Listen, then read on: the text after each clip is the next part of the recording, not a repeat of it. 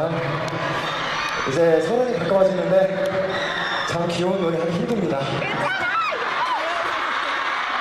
아까 산타 여러분들이 선물을 이렇게 하셨는데 이게 제가 이 곡을 위해서 이마트에 가가지고 직접 해온 거거든요.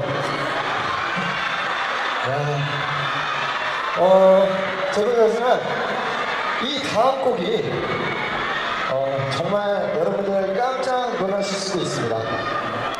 정말 비주얼 쇼크를 일으킬 수밖에 없죠. 자매 준비됐나요? 준비됐어요?